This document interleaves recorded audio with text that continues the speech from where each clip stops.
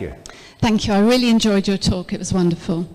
Um, I've never taken the Bible literally ever um, and was thrown out of confirmation classes for daring to suggest that it might just be a story.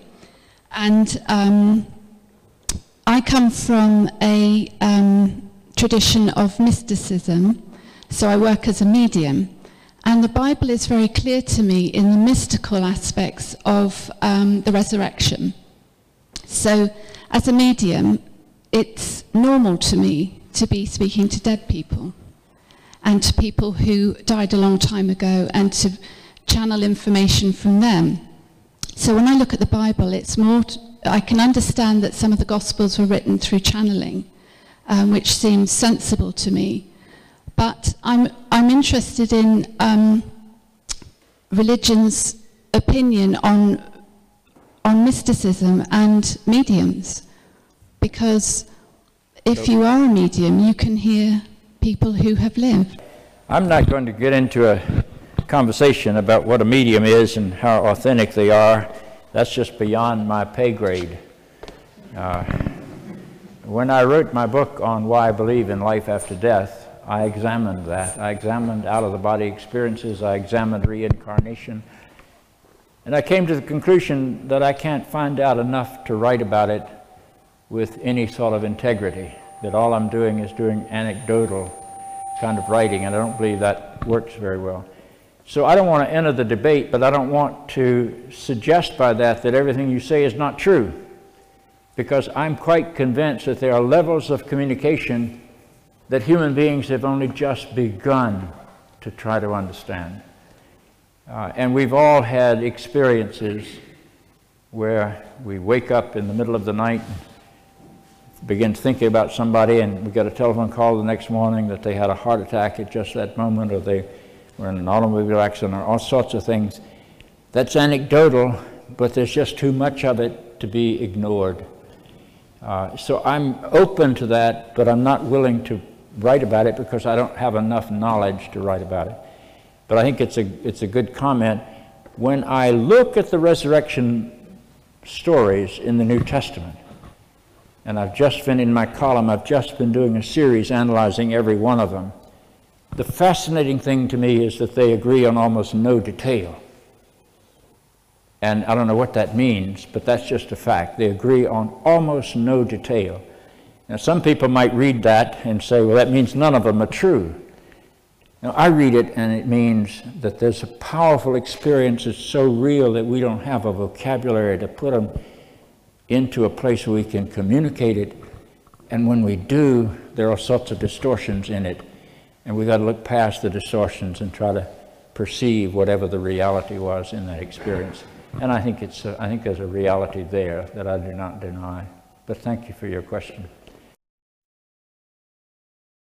What I'm wondering is, and certainly the last point, we're about taking Christianity forward, whether whether we can draw much, whether you feel that we can draw from Eastern traditions. I go to church, but also attend a meditation sangha, and I found writers like Eckhart Tolle very helpful in um, bridging a gap, you might say, between Christianity and Buddhism. Um, I just really wondered if you think there's an answer taking Christianity forward, relying on the East, you might say. Well, I think if you go deep enough into any of the faith traditions of the world, you escape the limits. I don't believe God's a Christian, much less an Anglican. Uh, you know, the idea that, that God has to live within our human worship tradition, our human framework, is almost idolatrous to me. That doesn't mean that, that I want to get rid of Anglicanism or Presbyterianism or whatever. Uh, I don't want to get rid of any of those things. I just want us all to travel in them so deeply that we too escape our own limits. And if the Muslims and the Jews and the Buddhists and the Hindus and the Christians go into their faith tradition deeply enough and walk far enough, I have a conviction that they'll come to a common ground. And in that common ground, I can say to my Buddhist friends, this is what I've received by walking the Christ path, and I want to share it with you. And they can say to me, This is what I've received by walking the Buddhist path, and I want to share it with you. And none of us has to give up the treasures of our own tradition, but all of us are enriched by taking on the treasures of so many more. And I think if we don't get to that kind of understanding of the role of religion in human society, that the alternative is genocide, because we spend our time killing each other in the name of our God. And that seems to me to be sort of foolish. It's even biblical. I can take you to a text in 2 Samuel where God directs King Saul, uh, not, you know, God directs the prophet Samuel to speak to King Saul and says, King Saul, you are to go to war against the Amalekites. And in that war, you are to kill every man, every woman, every child, every suckling, every ox, and every ass among the Amalekites. That's the Bible saying God is endorsing genocide. Now, don't hand me that book and say this is the Word of God and have that in it and not be aware of it. That's what we've got. That's why we've got to rescue the Bible from the minds of literal minded people without destroying the Bible in the process. The alternative we give to our world is you either accept the Bible literally or you pitch the Bible onto a junk heap. I think there's a better alternative. And I spend my time trying to open up a new possibility to people of faith about this holy book that I happen to treasure. Thank you for your question.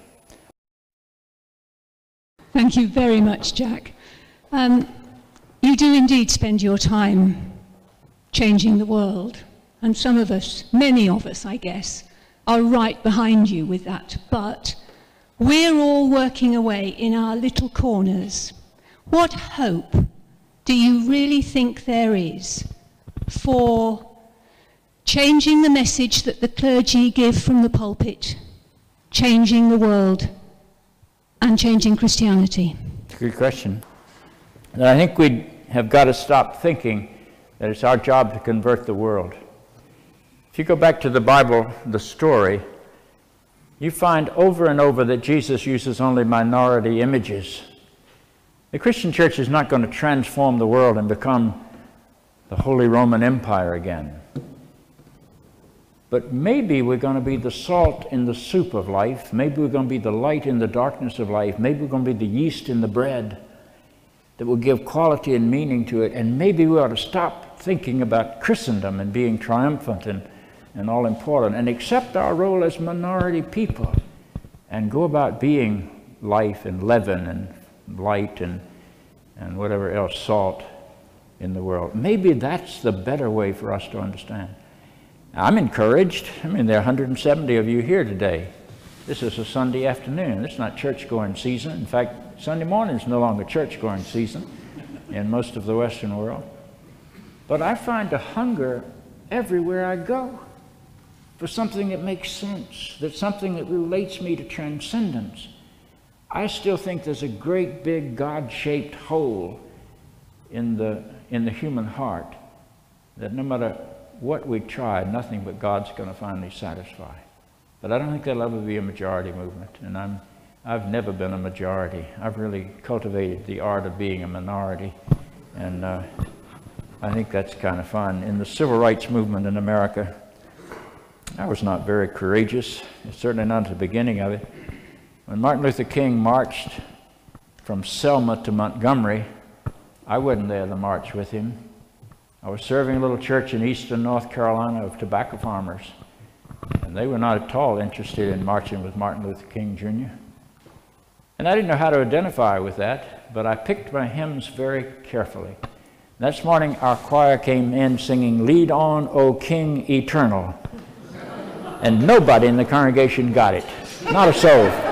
So my witness was totally lost. Now, now, when the schools were desegregated in Tarboro, my witness was not lost because it had now come home to us and we had to deal with it and we had to deal with hostility. And, uh, and I had the incredible honor of being named public enemy number one by the Ku Klux Klan in Edgecombe County, North Carolina, which just proves that if you choose your pond small enough, you can be a very big fish in it. But I think that's what we've got to do. We've got to accept minority status and be leaven in the lump of life. And I think we have integrity when we do that. Thank you for your question. It's people like you. Um, overlook the fact that resurrection was not by any means something limited to Jesus and not limited to what Paul claimed about seeing him, but it was right in with those who you are championing today, the Jewish people. Resurrection was all very much part of their religion for thousands of years. Uh, one of the greatest prophets in the Jewish history is Elijah. And he raised the dead. There was resurrection involved with him. And then Jesus, was a preacher and a teacher, oh yes, and the Bible is a record of his teachings, but he was a resurrectionist as well. That is, he healed the sick, he had multitudes uh, to, to, to minister to, like you referred to the feeding of the 5,000. That was because there was such a multitude uh, looking for him for healing that they, they had to be uh, provided for, otherwise they would have fainted on their journeys. That's a good question. Let me try to address it. First of all, there's almost nothing about resurrection in the Old Testament. Uh, well, that's not quite accurate. Raising the dead by Elijah was not resurrection, it was raising them back into this life. They presumably would have to die again. The story of Lazarus that you refer to is in the 11th chapter of John's Gospel. And there are all sorts of things in that story that make you know that's not literal history. Uh, I don't know that I've got time, but let me try. Uh, that's the only story of the resurrection, of the raising somebody from the dead in the New Testament that can't be replicated with a story from Elijah or Elisha.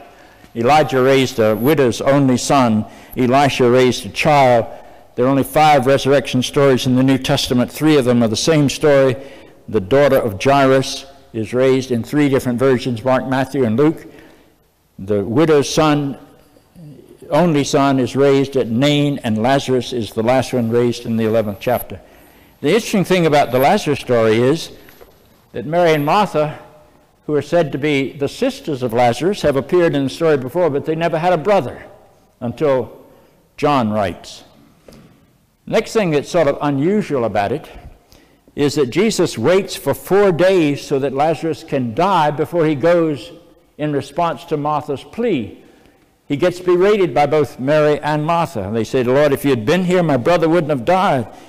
And Jesus says to them, Do you believe in the resurrection? And then they talk about the resurrection and the, and the dead. And then, in a very dramatic scene in the fourth gospel, Jesus walks with Mary and Martha out to the tomb with a whole host of people, including his critics. And as they approach the tomb, Martha says to Jesus, Oh, Jesus, don't take the stone away from the tomb. And Jesus says, Why not? And she says, He's been dead for four days. And King James Bible says, quote, and already he stinketh, unquote. The Revised Standard Version changes that and says, already there's an odor, a little bit more discreet in the Revised Standard Version. In any event, they roll the stone away, and Jesus says, Lazarus, come forth. And Lazarus, bound in his grave clothes, looking like somebody from the Addams family on TV, uh, his feet bound, his arms bound, comes walking like this out of the tomb. And Jesus says, Take the burial cloths off of him and let him free. And nobody writes about this story for 65 years. John is written between 95 and 100. Nobody seems to know about this story to John writes. That's not history. Well, I think I can tell you where it comes from, and I did that a, when I wrote my book on life after death and why I believe in it. I think what John did is take the parable of Lazarus and Dives out of the Gospel of Luke and turn it into history. If you know that parable, and it's a really great parable, if you know that parable, Lazarus is a beggar, Dives is a rich man, they both die. Lazarus goes in, quote, the bosom of Abraham. That was a Jewish image of heaven, the bosom of Abraham. If, if I were going to spend eternity lying in somebody's bosom, I don't believe I want it to be Abraham's. but Dives goes to a place of torment. And in this parable, they can talk to each other. So Lazarus says, Father Abraham, Send Lazarus down here with some water. It's pretty hot down here. And Abraham says, Lazarus, you can't get there from here. And then David says, Well, if you can't send help to me, send Lazarus back to my brothers, lest they come to this place of torment. And Abraham says, They have Moses and the prophets. If they don't believe Moses and the prophets, they're not going to believe even if one is raised from the dead. And John takes that story and he turns it into a historical narrative. And he is raised from the dead. And exactly what the parable says happens. They immediately move to crucify him. They do not believe even if one is raised from the dead. That's a very different way to read that miracle story. And the raising of the child is an Elijah story being rewritten. The raising of the widow's son at Nain is an Elijah story being rewritten. Many of the miracles in the New Testament were Old Testament stories being magnified and retold about Jesus.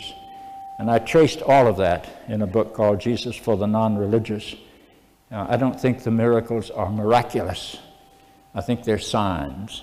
One of the great things that I learned from studying the fourth gospel is that that writer changes all the miracles into being signs. The difference is a miracle is supposedly a deed you can observe, a sign is something that points to a meaning that the miracle can never quite capture. And I think if we begin to read the miracle stories of the New Testament as signs and not as miracles, we'll be better off. Do you believe in the evolution of the human species?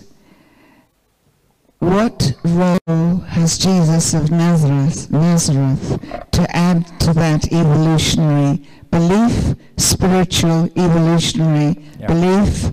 Uh, one interesting idea that appeals to me is that Jesus of Nazareth is about emptying. Thank you. But let me say, first of all, I don't think it's possible not to believe in evolution. Uh, I think anybody that doesn't believe in evolution is simply uneducated and uninformed. Every medical school in the world operates on evolutionary principles. And the Christian church has had a very hard time relating to Darwin and his thinking. Uh, it's really sort of, sort of sad. Christian church still talks about original sin and the fall and how they've got to be rescued and redeemed. Original sin doesn't make any sense if there wasn't an original perfection. That is, you can't fall unless you have an original perfection, and you can't be rescued if you haven't fall, fallen. And so the whole way we tell the Jesus story becomes nonsensical. When I look at life, and again I trace this in my book called Eternal Life, A New Vision, this planet is part of the, of the universe that was formed in something we euphemistically call the Big Bang somewhere between 13.7 and 13.8 billion years ago. And that's pretty well documented. And this universe is still expanding. And with our computerized knowledge, we can turn it backwards and we can go back to the place where it was one incredible density. We know we're somewhere between 13.7 and 13.8 billion years old. But when the universe was begun, it was all material. It was chemicals and metals. No life was in it. And it wasn't until about 3.8 billion years ago that life came into being on this planet. Where did it come from? Somehow out of matter, life emerged. Don't ask me how. But that's, it has to come from what is, and what is was matter, and then suddenly, about 10 billion years after matter was formed, life emerged out of matter. And then you keep following that process. And this thing called life breaks into two distinct lines. When that happened, we're not sure. One's plant life and one's animal life, they're deeply interdependent. They fed off each other quite literally. Then on the animal side of life, suddenly consciousness emerged out of life. Where did it come from? It had to be there all the time or it couldn't have emerged. So matter gives way to life, and life gives way to consciousness. And sometimes, about maybe as recent as 250,000 years ago, consciousness crossed a boundary into self consciousness. And that's when human beings appeared. Human beings are self conscious creatures. We know that we are alive, we know that we will die. Animals don't know that they're alive, they just are. Animals don't know that they're going to die. I've never met an animal that wrote a last will and testament uh, or made preparations for its burial. Oh, you, people tell me all about elephants who go to burial grounds, but that's instinctual behavior. Human beings are frightened, self conscious creatures who know that they're mortal. When I look at Jesus, I see another dimension of humanity where you go from self consciousness into a kind of universal consciousness where you see yourself as one with that which is ultimately real and ultimately holy. So I think I see how Jesus fits into that process. And I'm certainly not the first one to develop this. A great Roman Catholic paleontologist uh, in the early 1930s, uh, Teilhard de Chardin, developed this as he tried to relate Christianity to his understanding of paleontology. Yeah, I think we that's the kind of debate I think the church ought to be having instead of the debate about whether women should be ordained. You know, nothing bores me more than that. Uh, and, you know, the gay debate's just about as dumb. Uh, anyway, that's, uh, the church spends major amount of time debating that which is minimally important. Why should a woman not be ordained? Let me, let me close with this. As my wife says, that's the last question. It's always fun to posit it this way. The, the reason why the Christian church historically did not ordain women was that we defined women as not bearing the image of God. Only men had the image of God, so therefore only men could stand before the altar and represent God to the people. Well, that's a really strange idea. And the way you test it is you stand a man and a woman side by side to try to figure out where in the man's body the image of God lives if it doesn't live in the woman's body. And so you strip them from head to toe of everything that is sexually identified until the man is down to the single organ that identifies him as male, and then your conclusion has to be that must be where the image of God lives. now, that is patently ridiculous. It is humanity, self conscious humanity, that reveals the image of God. It's not maleness or femaleness. And we have treated women shamefully. And the two largest churches in the Christian world today, the Greek Orthodox and the Roman Catholic, still do not think women are competent to be ordained priests and bishops. And I'm the father of daughters, and, and I don't want anybody telling me my children can't be the Pope the moment they're born. So uh, I had a conversation with the Archbishop of Newark one time, my counterpart when I was an active bishop. His name is Theodore McCarrick. He later became the Cardinal Archbishop of Washington. I said, Ted, the Roman Catholic Church will never get its mind straight about women until your priests have children. And he looked at me as if he didn't know how to process what I had just said. But I think that's true. You have a bachelor mentality that has no daughters, and no wives, and you're trying to make them define humanity for males and females. It's just never going to work. And the sooner they realize that, the better they'll be. I have great hope for Pope Francis my sense is it couldn't have gotten any worse than Benedict XVI. So anything would be a step in the right direction. But this is an enormous step in the right direction in consciousness and in every other way. So I have great hope for future relationships where the idea of women and birth control and abortion and homosexuality won't be the primary agenda that the church talks about. Church doesn't know anything about sexuality. I mean, how can a bachelor institution know much about sexuality? That's what we are a bachelor institution. What does a bachelor institution do? We decide that the ideal woman is a permanent virgin. To whom? Only to a celibate male. well, who was doing the defining? And we've all been victimized by that mentality because we were told they were defining in the name of God. Well, God is bigger than the prejudices of the Christian church. You all have been a wonderful audience today, and I thank you for coming. I hope I'll see you again.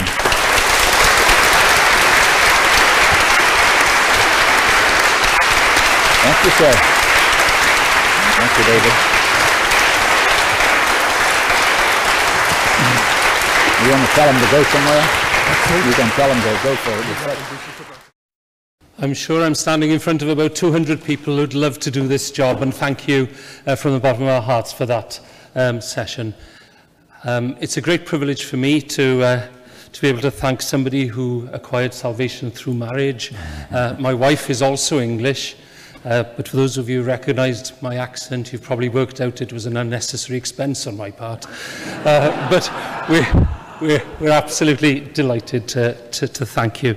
Could I also thank the uh, Ainsley and the team in, this, in Holy Trinity for their hospitality. For those of you who can see me from the front, from my shape, you'll realise I'll be incredibly thankful to those supplying the tea and the cakes as well afterwards. Thanks to the team over there.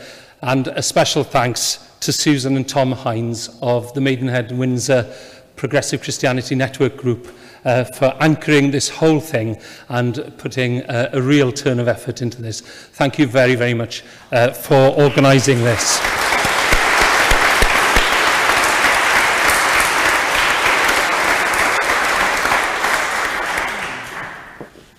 especially to, to Bishop Jack Spong, um, the thank you is not just for this afternoon. Uh, the thanks is for a lifelong commitment uh, and, and a willingness to stand out to make it possible for so many of us to stand with integrity, trying to work out our place in the spiritual journey that follows the feet uh, of the Jesus story. And thank you very, very much for keeping many of us on that journey uh, as we grow older. But our thanks and our great privilege today has been to listen to you uh, and to see the, the, the centrality of an intellectualism when it comes to both matters of faith and of other matters of life, if there is such a separation, which many of us would, uh, would argue with. But thank you very much for being that anchor and providing that way forward. It's been a great privilege. Thank you very much. Where is your home? In Wales, in uh, Pontypridd. You... Thank you, thank you very, very much.